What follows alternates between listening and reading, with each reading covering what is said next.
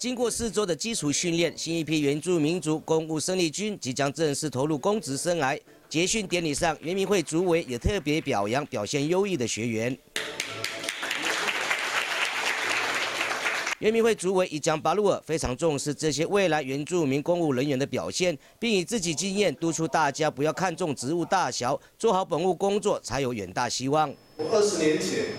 当我们第一任主委的这个。国会联络你的时候，我从来没有想到，我有一天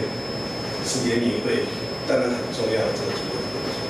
而在典礼中，大家也都分享自己学习过程以及未来的展望。经过了这一场基础训练，学员们似乎对于服务人民工作已有充分准备。很感谢这次呃原民会跟国家文官学院，然后给我们这个机会，然后交到了很多好的朋友，然后得到了很多专业的资讯。很幸运的考上了公务人员，哎。所以说，就以后就是为呃人民来服务，不管是我们部落的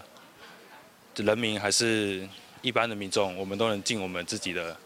我们自己的专业知识，然后去给他们最大的福利。原民会主委已将巴鲁尔也耳提面命在场学员，千万别忘了服务族人的初衷。我们进入公部门，我们不是为了要啊担任啊所谓的官员这样的角色而已，而是说你透过这样的一个职。